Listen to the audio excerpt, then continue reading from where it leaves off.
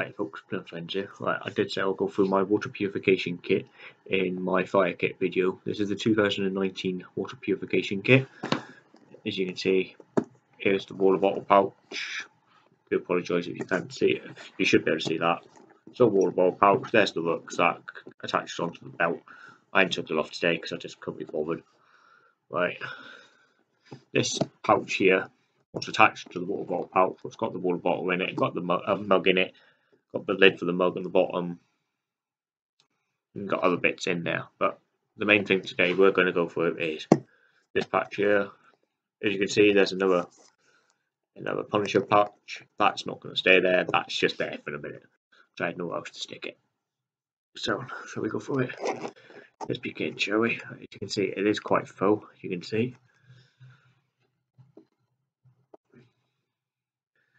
We'll go for that afterwards.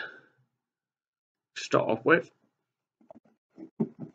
we have got a Sawyer Mini, what does 100,000 US gallons.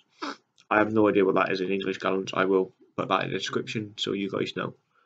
So I do kind of like that. As well as the bag. That is a dirty bag. That is what I put my dirty water in it, water in it, but I do clean it out after I've used it. So technically it's dirty, but it's clean. And here I have potassium permanganate. It is good stuff, but it's highly dangerous at the same time if you don't know what you're doing. I've got the crystal stuff, as you can see there. I do have the powder stuff, what looks like, in my opinion, looks like soft sugar, what I say.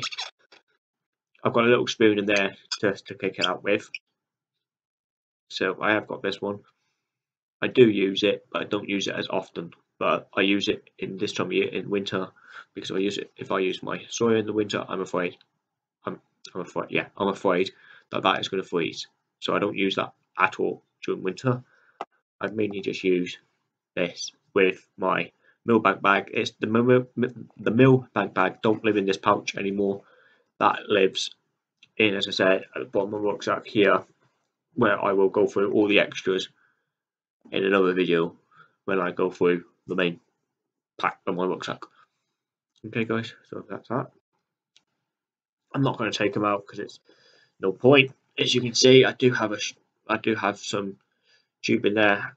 That there is just in case if I need to get into a smaller crack. In small, if I need to get in some, some smaller areas and I can't get into it, I can get into I can use that. And then I can all I've got to do is put that at the end of that and then just drink it like a straw, basically instead. If I'm des if I'm that desperate. I do have my lighter in here. I, this is a backup lighter. I don't use it unless I need to. And it comes and I carry the straw that comes with it. And at the very bottom, do apologize for that guys, give me a second about that, guys. I just had a phone call. But yeah, we'll move on now, shall we? Right. Last thing, as I was saying, it is a. Jesus, not growl, but grumped. It is a bottle I click. It's for this one. It's MOLLE. Uh, MOLLE. It takes. It goes on MOLLE. So yeah, I might do a video on these because I do have, as you know, I do have a couple of them. I do have one in my water cache. So yeah. So that is my water purification kit of 2019.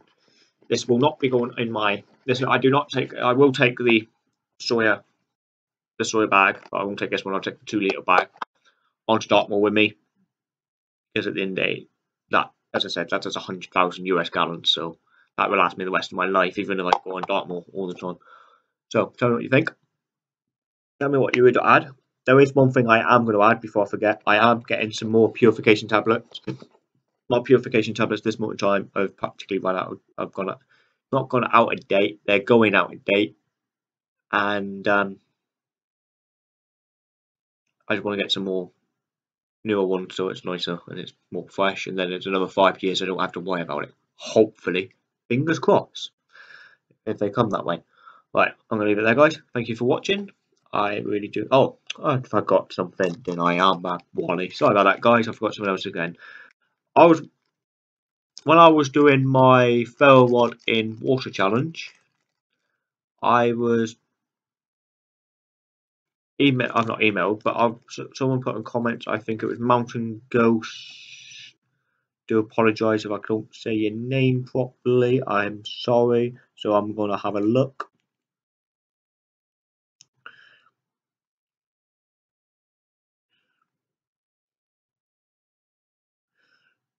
It yeah, Mountain Goat five five six said I should use these pH um, paper things, indicator things, saying about acid and alkaline. So I thought I'll get some. I've got some. I'm going when I do the Ferro Rod in saltwater challenge in seawater. I'll be using them, but I thought why not put them in my water purification kit. So then I know if the water is um, acidic alkaline, everything like that. So I know if I can drink it. if it's acidic, I won't touch it. If it's really acidic, I won't touch it. If it's really thing like alkaline, I won't touch it. So I got them.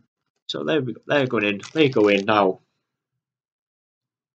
in my water purification kit because I think it might be a good idea.